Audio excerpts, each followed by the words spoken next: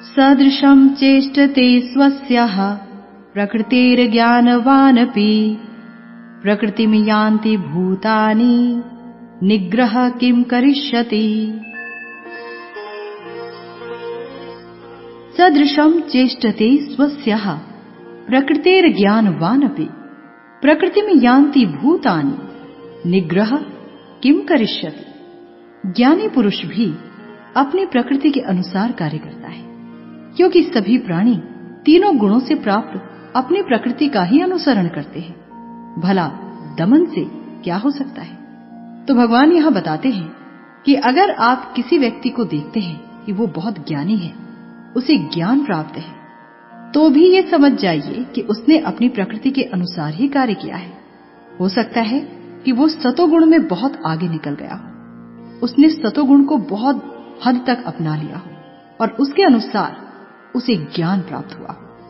यूँ भी कहा गया है कि जो भगवान की भक्ति करता है, उसे अपने आप ज्ञान प्राप्त हो जाता है, उसे अपने आप विरक्ति प्राप्त हो जाती है। तो भगवान यहाँ कहते हैं कि ज्ञानी पुरुष भी अपनी प्रकृति के अनुसार ही कार्य करता है, क्योंकि सभी प्राणी तीनों गुणों से प्राप्त अपनी प्रकृति का ही अनुसरण करते हैं। जो तीन गुण डिक्टेट करते हैं, जो तीन गुण आदेश करते हैं, पुरुष, व्यक्ति, इंसान उन्हीं गुणों के अनुसार अपने कार्य को अंजाम देते हैं, क्योंकि दमन से कुछ नहीं हो सकता। भगवान कहते हैं कि सांसारिक धरातल पर अगर आप देखें और कोई सोचे कि चलिए मैं सैद्धांतिक ज्ञान से, आत्मा को शरीर से अलग कर लूँगा और माया के बंधन से निकल जाऊँगा तो वो बिल्कुल भी संभव नहीं और ऐसे बहुत सारे अध्यात्मवादी हैं जो अपने आप को इस विज्ञान में बढ़ा चढ़ा मानते हैं। लेकिन वो अंदर ही अंदर प्रकृति के गुणों के अधीन रहते हैं। और ये बात उन्हें पता भी नहीं चल पाती कि प्रकृति को जीत पाना बहुत कठिन है। क्यों? क्योंकि भौतिक प्रकृति का जो संग है, वो हमने अनंत अनंत जन्मों से किया हुआ है।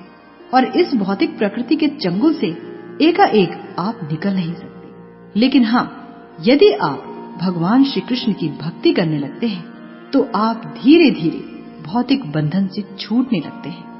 भौतिक बंधन आप से अलग होने लगता है।